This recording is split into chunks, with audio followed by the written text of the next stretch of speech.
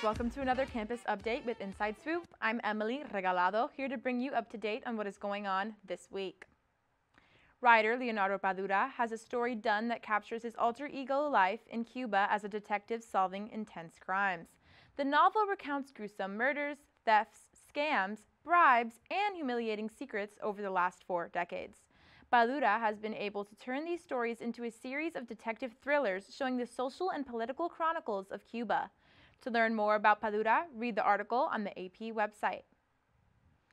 World-renowned singer Jon Bon Jovi has gone through four music decades and is now enduring major vocal surgery while still staying strong. Bon Jovi has agreed to let director Gotham Chopra follow him with a documentary camera to show the world one of the lowest points in his career.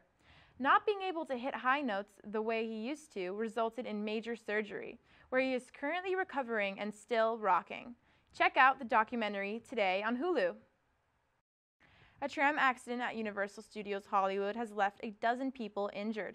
The accident occurred on Saturday night just after 9 p.m. The California Highway Patrol reported that the tram's last car collided with a metal guardrail, causing it to tilt and eject multiple passengers.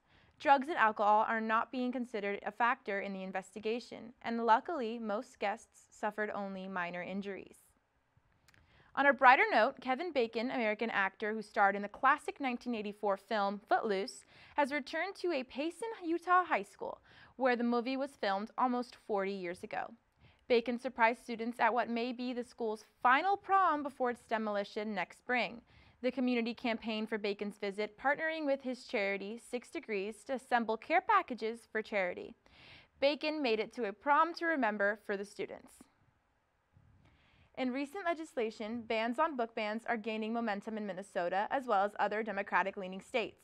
Meanwhile, in conservative states, book bans have been at their highest in decades. Restrictions in these states have caused librarians and administrators to fear lawsuits, large fines, and even imprisonment.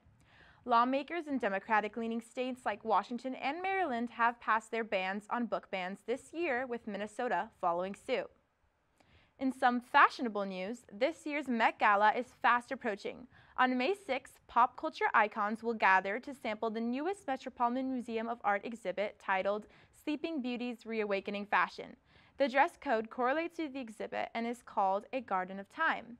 Vogue editor Anna Wintour is co-hosting this year with celebrities Zendaya, Jennifer Lopez, Bad Bunny, and Chris Hemsworth. This year's looks are sure to be show-stopping. Well, that's another edition of Inside Swoop. Tune in next time for more campus information. I'm Emily Regalado. Thanks for joining me on Inside Swoop.